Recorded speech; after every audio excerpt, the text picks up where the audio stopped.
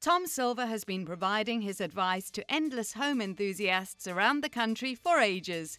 Whether it be on This Old House or its sister show, Ask This Old House, the house expert sure knows his way around the business. With a career expanding over 40 years, this old house veteran has been around for a while. So today, let's find out more about Tom and his net worth in 2020. But before we continue, please subscribe to our channel and be a part of our family by ringing the bell. Early life of Tom Silva.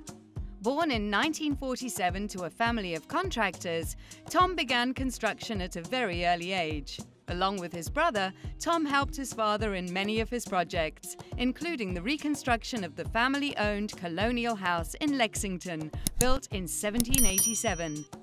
After gathering some experience, Tom, with his brother and nephew Charles, opened a construction company, Silva Brothers Construction. Tom Silva in this old house.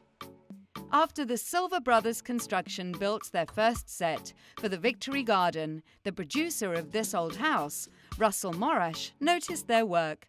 Morash invited them to become the permanent contractors for the show in 1988. Tom has contributed to complete remodeling and landscaping published by This Old House Books.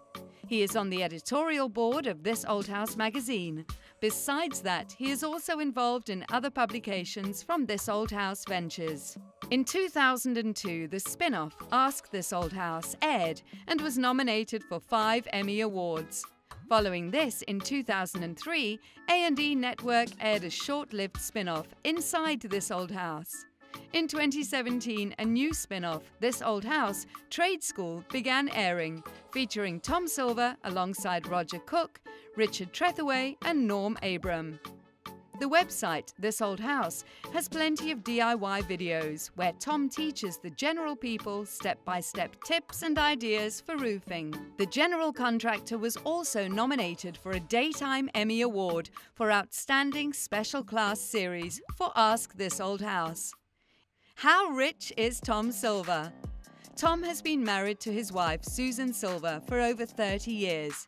The couple lives in the Boston suburb with their son and daughter. The contractor has a very active Instagram account as well, with over 30,000 followers. As seen per his posts on Instagram, Tom has been spending quality time with his daughter Kate. The 73 year old Tom has an estimated net worth of $5 million as of 2020. Who is your favourite from this old house? Let us know in the comments below. And don't forget to like the video and subscribe to our channel.